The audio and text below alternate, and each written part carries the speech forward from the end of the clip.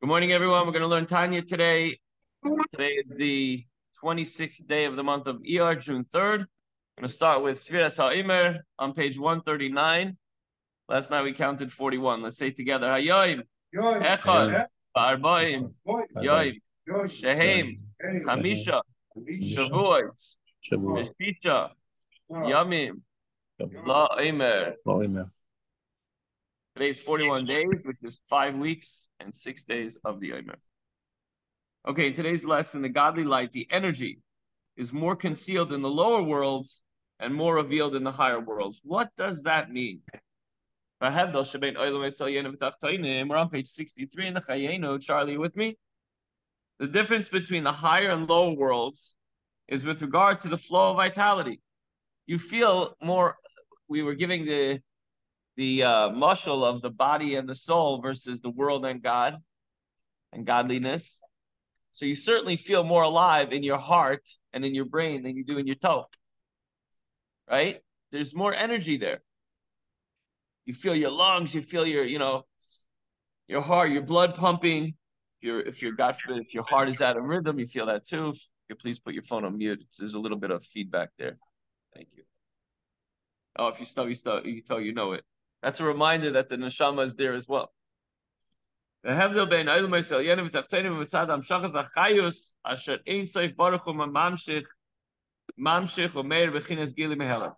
difference between the higher and lower worlds is in regard to the flow of vitality, which the blessed Ein Sof, the eternal light, causes to flow and illumine in a manner of revelation out of concealment. The Alter Rebbe is going to conclude that this revelation which we have obviously more so in the higher worlds than in the lowest world here or in the lower worlds, is intended for the purpose of vitalizing the worlds and their inhabitants.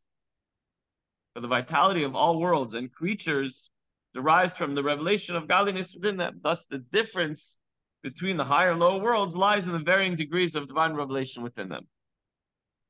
With regard to revelation out of concealment, the Alter Rebbe now states, parenthetically, that this manner of, of revelation is one of the reasons why the godly vitality found within the world is called light. Why is the why is the godly energy called light? We'll soon see. Which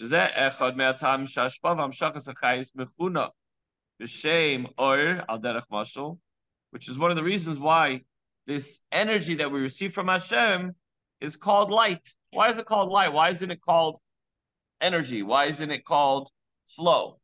We'll see in a moment. In Kabbalistic literature, the flow and vitality of, of godliness is termed light rather than shefa, which here they translate it as flux. I'll, we'll just say flow, as it is termed in. Can someone look up what flux translates as on Google? What is flux?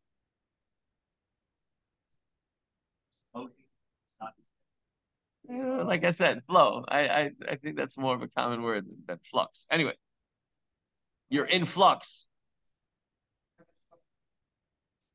As it is termed in Jewish speculative philosophy, chakira, that's the way they call it in chakira, they say flux. But light signifies revelation out of concealment. Previously,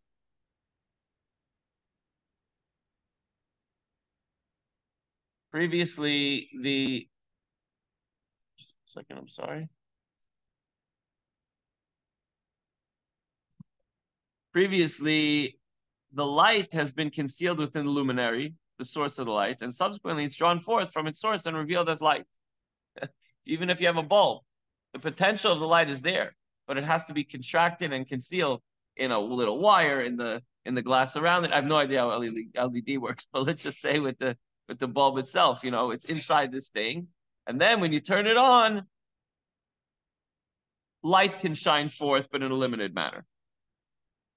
Thus, in the case of revelation of concealment, only a minute illumination of the source is drawn down into a revealed state. Not so with Shefa, where it is the actual flux and stream of the source that flows down and is revealed.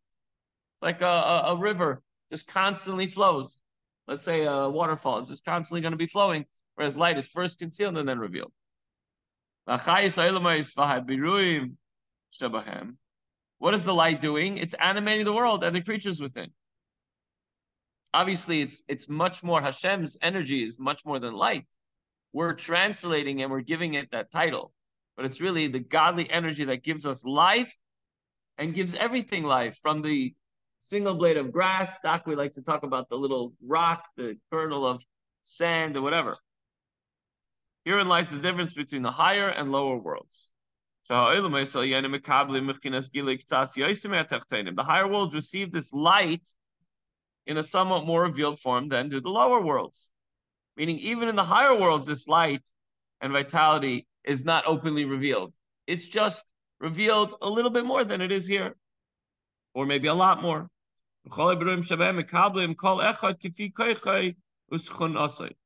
All creatures, whether it's in the higher worlds or the lower worlds, each according to its capacity and nature. I think about the, you know, you you you you give a kid, um, you give a kid candy. It's a good example. You know, the older you get, the kid knows, mm-hmm. okay, I'm gonna hold it till after I eat or whatever. You give a little kid candy, he doesn't know how to handle it or anything.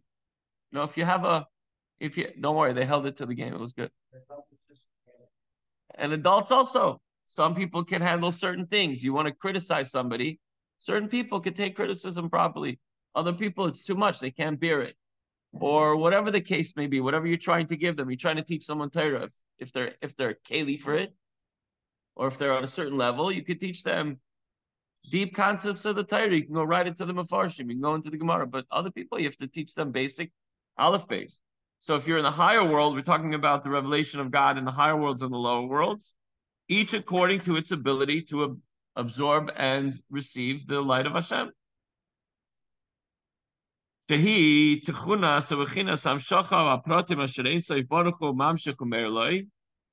is the nature and form of the particular flow with which the blessed Ein Sof imbues and illumin, illumines it.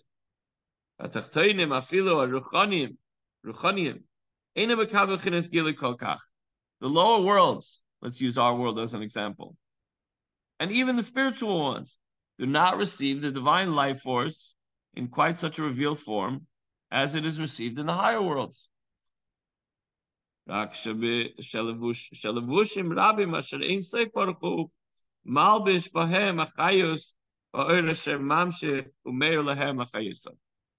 But only by means of many garments, wherein the blessed Ein Sof, the light of Hashem, invests the vitality and light which He causes to flow and shine on them in order to animate them.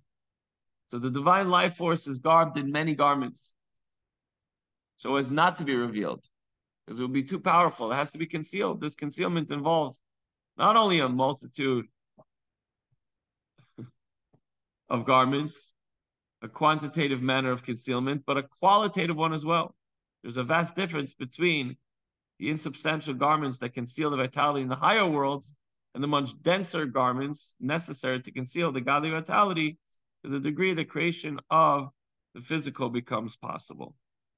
So just say like this. Let, let's say we go outside in the wintertime. Oh, maybe high 40s, low 50s. You could wear a little light jacket. You can handle it.